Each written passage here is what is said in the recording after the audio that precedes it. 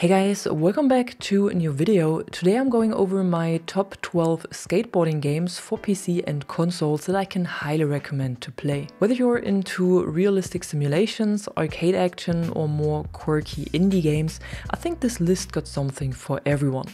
First up, there is Skatebird. Now, I'll be honest, this game isn't about realism, apparently, but it's still fun. You play as a tiny bird on an even smaller skateboard and pull off tricks in a world built out of everyday objects. The mechanics are pretty simple, but it's surprisingly satisfying once you got the hang of doing flips and grinds as a bird. The whole vibe of the game is super casual and the quirky upbeat soundtrack makes it even better. If you're looking for something laid back and with a cute aesthetic, Skatebird is definitely worth a shot.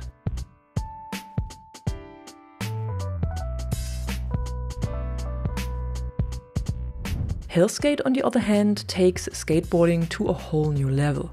It's skateboarding meets roguelike and dark fantasy. You're skating through this gnarly world filled with creepy enemies, and instead of just grinding and flipping, you actually power up attacks with every trick that you need to fight off monsters. The art style is gritty, the tricks are stylized, and it's just a different kind of flow. Plus, the roguelike elements give it a lot of replayability and let you pick up the game over and and over and over again. If you're looking for a unique skateboarding experience, I would say Helskate is the game for you.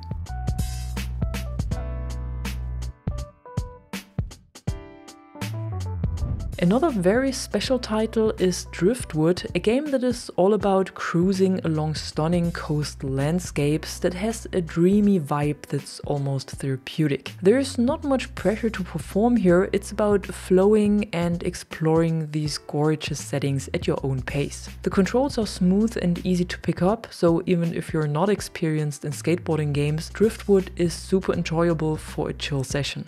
And you play as a sloth named Eddie. What's more to say about it.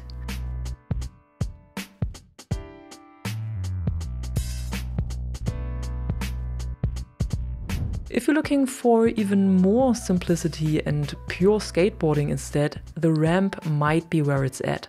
It's super minimalistic, it's super chill, and it's just you, the ramp, and a handful of tricks. There's no scoring, no career mode, no competition, no open world, nothing. It's just you and the board, and a handful of achievements to unlock. But once you get into the flow, it's really addictive. It's great for quick sessions and to simply relax, and perfect if you want to to zen out and focus on nailing that perfect flow.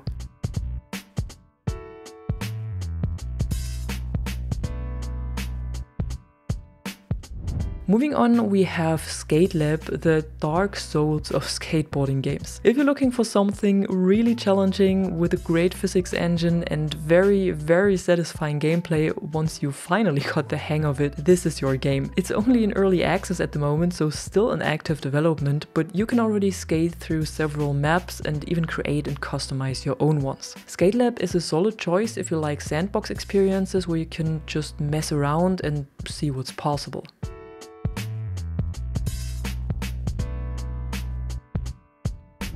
Skate City, on the other hand, is a smooth side-scroller that lets you explore the three iconic cities Los Angeles, Oslo and Miami. It's got a very laid-back vibe and the controls are super intuitive. It has a great mix of chill cruising and challenging missions, which keeps the game interesting throughout your playtime. Plus, the lo-fi soundtrack has a vibe of its own, and once you picked it up, it's hard to put down and time flies by faster than expected.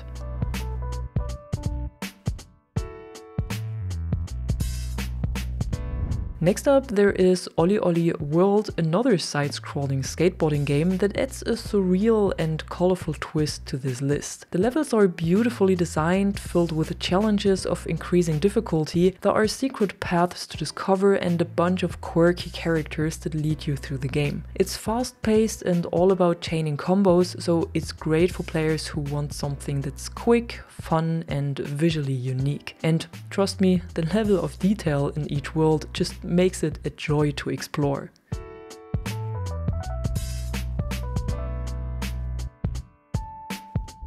Now, of course, you can't talk skateboarding games without mentioning Tony Hawk's Pro Skater.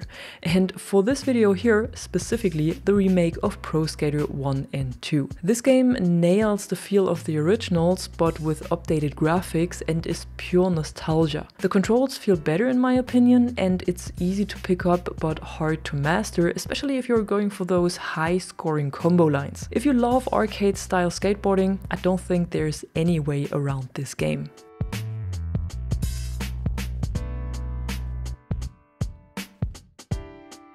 Up next we have Riders Republic, a game that is a lot more than just skateboarding. It's a massive multiplayer outdoor sports experience where you can snowboard, bike, wingsuit and of course skate. The open world experience is just wild, you can hop from activity to activity, meet up with friends and take on huge stunts.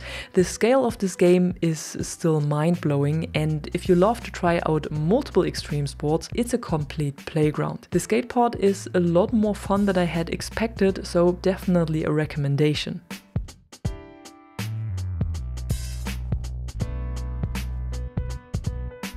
Now to my all-time favorite and most played skateboarding game ever, Skate 3.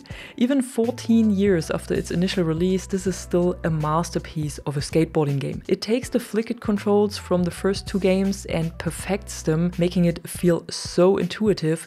The open world map is a blast to explore and the custom park editor is amazing. I've spent hours in this game discovering spots and trying to hit every line I can think of. Even after all this time, I still love to go back to the game frequently because it's a true classic for a reason.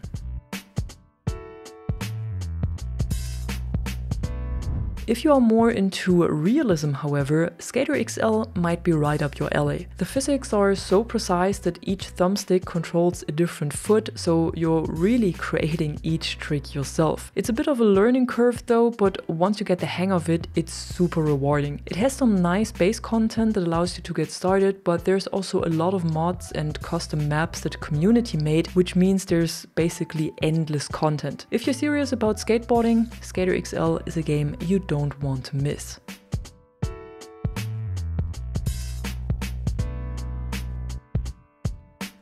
And last but definitely not least is Session Skate Sim, a game that is like a love letter to true skateboarding. In my opinion, it's the best skateboarding game we have right now with its gritty, realistic feel that is all about patience and precision. Similar to Skater XL, each foot is controlled by one of your sticks, which gives you full control of your board, but also needs a lot of focus to do tricks. It also has a great replay editor that allows you to capture every angle of your best lines. So if you're up for a really authentic skateboarding experience, Session is the best game you can play right now. And that was it for today, my top 12 skateboarding games for PC and consoles. Let me know in the comments below which of these is your favorite or if there's a hidden gem I might have missed. And if you enjoyed the video, don't forget to drop a like and subscribe and I'm gonna see you in the next one. Bye bye!